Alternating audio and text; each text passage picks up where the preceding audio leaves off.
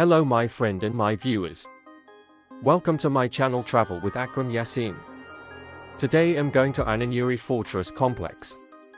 Today is very important topic please like and share this video with your friends and family I hope this video is very informative for everyone. Ananuri Architectural Complex is a captivating late medieval monument situated in the picturesque gorge of the Aragvi River along the Georgian Military Road. Approximately 74 kilometers from Tbilisi and near the stunning Jinvali Reservoir. The complex, nestled against the backdrop of pristine landscapes, features a fortress, a bell tower, three churches, and intricately carved curtain walls. Notably, in 2007, Ananuri was included in the tentative list for UNESCO World Heritage Site consideration. During the Middle Ages, Ananuri held significant strategic importance, serving as a guardian along the routes that connected the northern and southern regions of the Caucasus.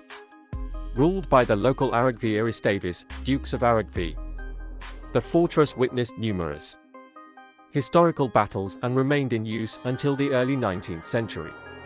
The fortifications at Ananuri can be divided into two major sections. The upper fortification, featuring a large square tower known as Shupavari, served as the last line of defense for the Aragvi Eristavis.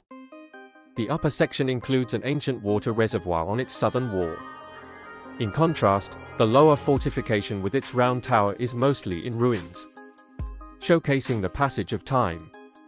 The complex also encompasses three distinct churches, the Church of the Virgin, the Church of the Deity, and the Church, Kernali, Hila. The primary Church of the Virgin, constructed in 1689, as indicated by a beautiful wall inscription, follows a central dome architectural style. Despite the destruction of frescoes in an 18th century fire, the church boasts decorated facades and a rich history. The Church of the Deity, dating back to the 16th to 17th centuries, features a cross-dome structure, typical of the Middle and Late Byzantine architectural style. Notable within this church is the baldaquin, a ceremonial stone believed to have been erected by the widow of Edisher, an Aragvi duke from the 17th century. The smallest of the three churches, Kernali, dates back to the second half of the 17th century and resides mostly outside the curtain walls, adding to the diverse architectural tapestry of Ananuri. Thanks for your time and watch this video.